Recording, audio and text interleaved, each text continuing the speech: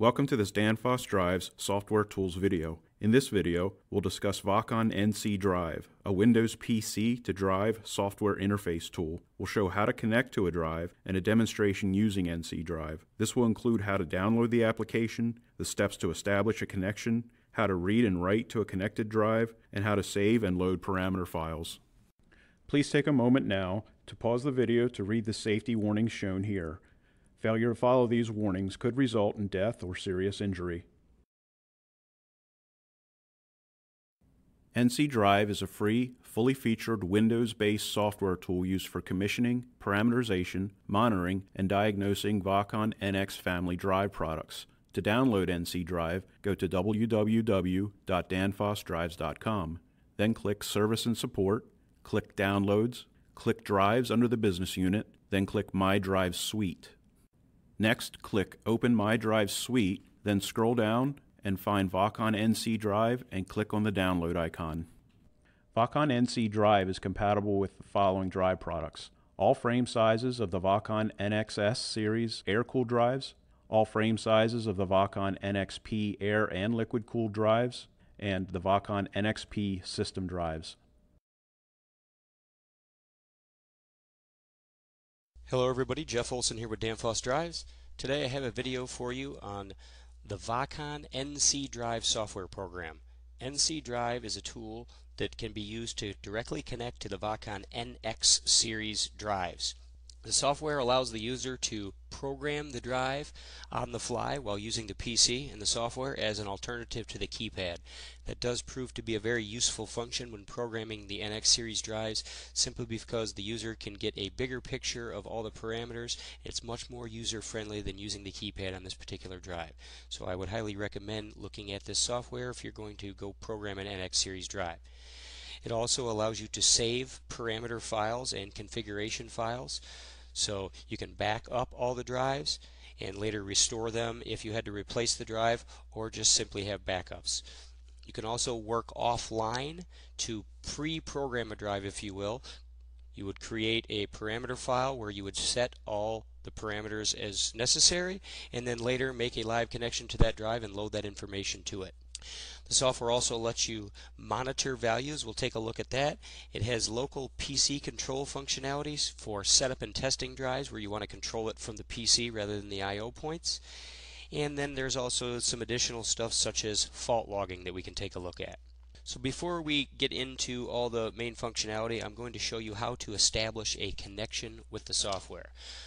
At this point I have my software open. We'll notice here that we are offline, so there is no communication occurring between the drive and the software right now. The first step is to connect the drive physically to the PC running the software. So if we take a look at this image here, I have shown that we have a connection with a serial cable plugs in behind the keypad where the keypad plugs in and the other end goes to your PC. Older computers would have an onboard serial port. It's not very common anymore, but if you are connecting to a PC with a serial port, it would be important to use this special yellow cable here. Danfoss sells this cable. It's part number 181B0350, and it's referred to as the communication programming cable. This cable has isolation, so it does provide isolation between the PC and the drive so you won't damage your computer. In the event that you do not have a serial port you're connecting to, and the more likely event would be that you're using some sort of USB to serial converter. So here I have a USB to 232 conversion tool. Once you plug that device into the USB port of your computer, it will be assigned a COM port, and we have to match that COM port in the software in order to establish the communication. So let's take a look at that. You have to open up your device manager after you connect the converter in this instance, I am looking at the COM ports and my converter has adopted COM port 8. When I go into the software, you're going to want to go to Tools, Options, click on the Communication tab, and here I leave this 232 and I would select the COM port that the computer assigned it. Again, COM8 was what my device manager showed, so I'm going to match that. And I normally, just as uh, a standard practice, increase the baud rate all the way up to the highest point uh, in an attempt to speed up the communication. So we'll apply those settings and say OK.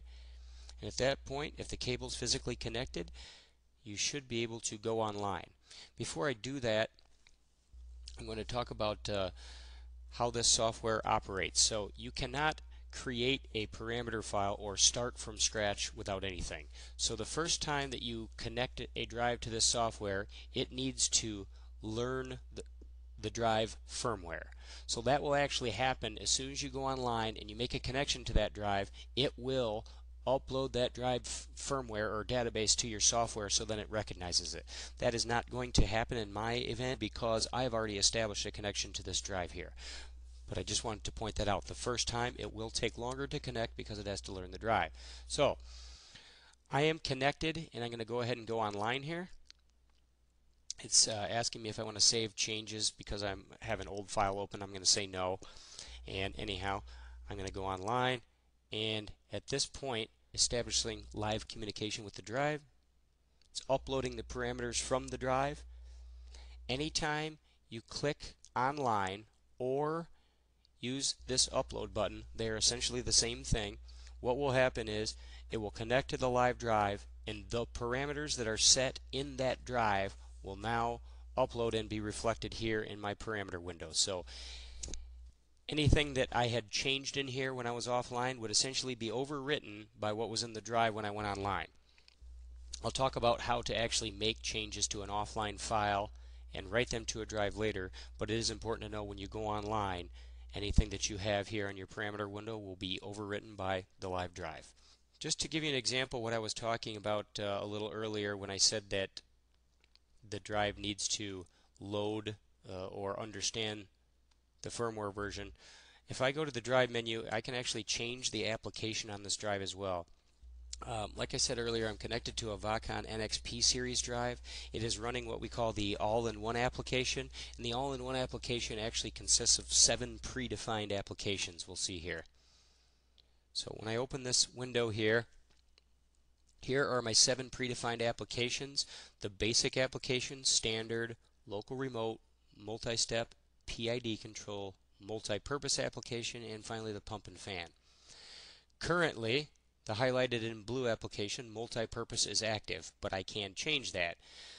Uh, this video is not really focusing on each of these applications in detail, uh, but I will point out that an application such as the basic will have much less parameter visibility to the user than one such as the multi-purpose which really lets you manipulate any parameter in this drive. So some applications are more basic than others and hide parameters. So I'm going to go ahead and change this to the PID control application. Again, this isn't really a programming focused video, so it doesn't matter which one I choose, but we will see when I do that that the drive will restart and the software will want to upload this application data from the drive. So we'll see that happen. It's asking if I'm sure I want to change the application. I'm going to say yes. And right now the drive is actually powering down and it's going to power up and restart itself. In turn, we're going to end up coming offline here briefly. So that is actually happening now. I went offline. It's asking if I want to upload the parameters, and when I say yes, it's going to go online and read from this drive the application and the current settings. So that will happen now. And I'm really just changing this application right now, again, to show you that the drive needs to take some time to generate or create the application in the software. So this is the window that you would see the first time you connect it to a drive, regardless of what application is chosen. And you'll see that we are online, and now I have the PID control act, uh, application active. So those are the parameters we'll be viewing. So at this point, now that I have a live connection, any changes I make to a parameter will automatically be reflected in the connected drive because we're online. So I'm going to go ahead and do that for an example. So I'm going to go in here and tree out my menu group 2 parameters and I'll go into my basic parameters group here and I'm going to change the minimum frequency just for an example. You can use the keypad or mouse clicks here, either way works. I'm going to go ahead and enter a value of 20 Hertz in here and press the enter key to accept that value. We see that there's some activity occurring. That parameter was written to the connected drive, so that change was made. Again, anything you do while you're online um, is going to be reflected in the connected drive. I can save this parameter file here and it's going to be a .par file like I mentioned earlier. I'm just going to go ahead and name this. We'll call it the VACON test drive and I will save it here. So now this parameter file is currently saved. Now next time I open up this parameter file and, and connect to a drive, I will not have to go through that process where it learns the database again. It'll already be uh, embedded in the software. So at this point I'm going to go ahead and close the software down here. And I'm going to go to my spot where I saved the file and I'll go ahead and open this file.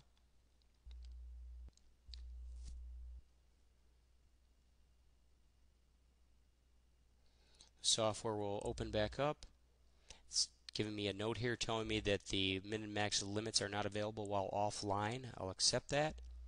And at this point, if I go online, again, I want to point out, if I go online at this point, it's going to update my parameter list here, or my parameter window that I'm viewing, with all the parameters that are active in that connected drive.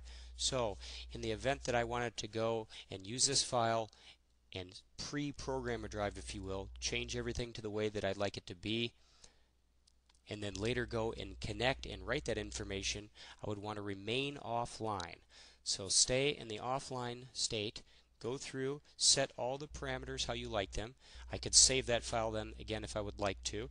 However, once I've done that, I go over here and I use the download icon where the arrow is showing that the information is going to the drive. So if I want to write this file to the drive, I use the download button when I'm offline. So I can do that. And we'll see what will happen here. And now whatever parameters were currently set in this parameter file here will write to the drive. We're talked about live programming of the drive when you have a live connection saving parameter files like I've just done and then later writing that parameter file to a connected drive. So working offline. And we'll take a look at some of these other functions here. We can monitor values. So if we look at these icons up here, I have a parameter window, which is what we're currently looking at. We have the operating window. I'll go ahead and open that up.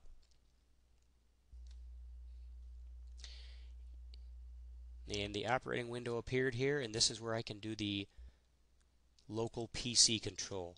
As soon as I click PC control any connected I.O. will be ignored and I have local control here via this little control panel. I can start, stop, reset alarms, command the drive to run in reverse, change the speed, and also coast to a stop if I'd like. So I'm going to go ahead and bring up one more window here. We also have the monitoring window. I'll open that up. Now the monitoring window is going to let us view all different types of parameters and values uh, in this scope type format here. So we can look at the actual unit, uh, the actual value of these, and we can also watch traces. So I have went ahead and set a couple of these up to save a little time. You can name them whatever you'd like. Then the type of data here, it can be a value, a parameter, the reference. You could log uh, the depression or certain buttons. Um, so there's a lot of things that you can log here. I've just went ahead and left the type value and then you choose the signal name. I have selected output frequency and motor speed. There's a ton of th things that you can log here. I've chose two that are going to be easy for me to manipulate so we can watch them. You can choose a minimum and a maximum scaled value for those, or you can press the auto key and it'll auto scale for you. I have actually selected a minimum of 0 to a maximum of 60 Hertz and 0 to 1900 RPM for my scaling. I can actually start the logging, and right now nothing's occurring because there is no uh, output frequency or motor speed. You can see it's remaining at 0 here, and I'm actually logging 0. If I come down here to the PC control and select this button, I'm going to go ahead and give it some speed here and give it a start command and we should see that we start logging and that's exactly what happened here. So now I have a red and a blue trace that are logging. They're monitoring uh, the hertz and RPM of the motor. If I change those, you'll see that it will reflect that on the fly. So my actual values here went down and my plotter also uh, reflected that. So this is a very useful tool for troubleshooting when you want to see a lot of different things at the same time and try to find out what's going on. This can definitely be helpful. So that's just a little bit about the monitoring window here. Um, I should also say that you can go into the settings tab here and change your sampling interval. I have chosen to continuous log. Uh, you can also log on a trigger. So there's a lot of uh, flexibility here with this tool. So I'm going to go ahead and close these two out. Again, I can stop the drive here or I can give it a co-stop, which I just did. And also we have some indication lights down here to let you know what the drive is doing when you have a live connection. Ready, run, fault, and alarm. If I start the drive, we're going to see that the run has lit up. If I stop the drive, we'll come away with that. And I'm going to generate a fault here shortly as well to show you how that works. I'm going to close these two windows. And that is this last icon up here. It's your diagnostic window. I can look at active faults in fault history. So I'm going to go ahead and start the drive so we can see that there's some information uh, populated in here when I generated an alarm.